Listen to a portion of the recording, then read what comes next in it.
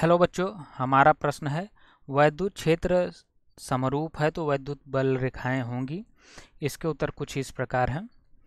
चलिए इस प्रश्न को हल हल करते हैं। बच्चों, चूँकि यह वैद्युत क्षेत्र अगर हम देखेंगे तो यहाँ पर बल रेखाएँ का ये एक ये गुण होता है।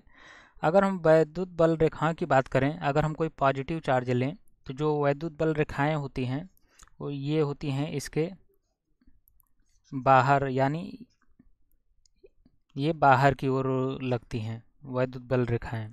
ये पॉजिटिव चार्ज के लिए।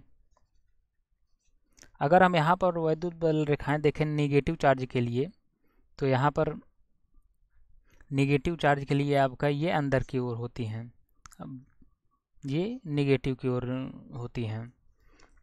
ये जो ये वैद्युत बल रेखाएँ हैं, ये आपकी इस इस तरीके से कुछ होती हैं। अब चूँकि यहाँ पर दिया है वैद्युत बल जो है समरूप है। मान लीजिए कोई ये आपका वैद्युत क्षेत्र है तो जो वैद्युत बल रेखाएँ होंगी ये भी ए, मतलब समांतर होंगी। जो हमारा और एक चीज़ हम जानते हैं वैद्युत बल रेखाएँ की दिशा अगर हम इसको वैद्युत बल रेखाएँ वैद्युत बल वैद्युत बल रेखाएँ की दिशा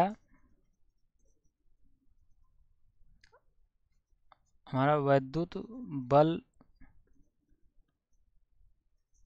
वैद्युत बल की दिशा बताती है। यानी ये अगर वैद्युत क्षेत्र समरूप है तो हमारी जो वैद्युत बल रेखाएँ हैं, वो जो हैं, ये समांतर होंगी।